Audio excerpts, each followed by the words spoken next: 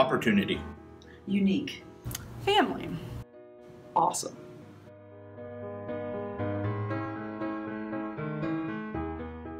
Uh, self-motivated. You want to get done with school early. I'd say definitely quiet and shy people because it's less people here. I think Journey is for anyone, honestly, as long as you're self-motivated and you're willing to put the time and effort in. Um, Journey would be a good fit for students who have goals or had goals at one time and somehow lost sight of those goals, but want to reach those goals again and have the opportunity to actually do that.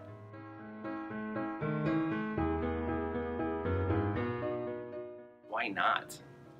Um, if you want to get ahead in classes, It gives you a lot of opportunities. More one-on-one help with teachers if that's what you need.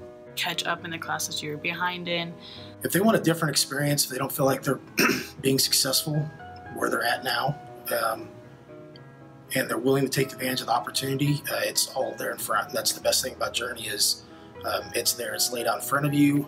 You don't have to wait on anybody. You can get it done um, and still have a high quality, rigorous education.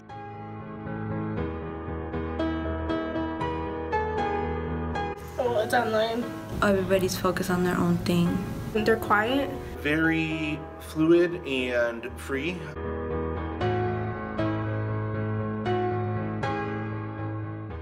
Four day week. You can't beat it. Four days a week. We have Fridays off.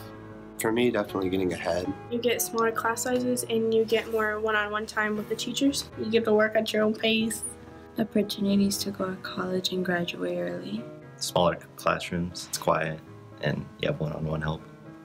You get to come to school less than your friends.